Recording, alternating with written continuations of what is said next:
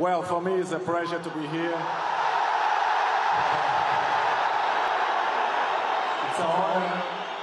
I, I feel yesterday the, the welcome that they, they give to me, to my family. And of course, I will give my best for this club, Al Nassr. Thank you, everybody.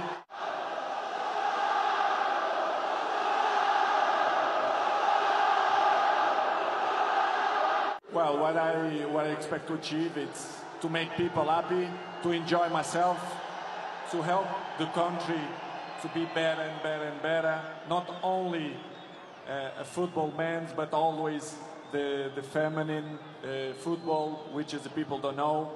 I know the league is competitive. People they don't know that, but the league is very competitive, and I want to make people happy. This is my goal.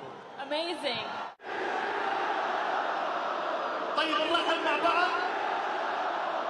والله ما لومكم والله ما لومكم. نرحب مع بعض مع أبطالنا مع كريستيانو. نكون مع بعض. أبطالنا جمهور النصر جمهور العالمي.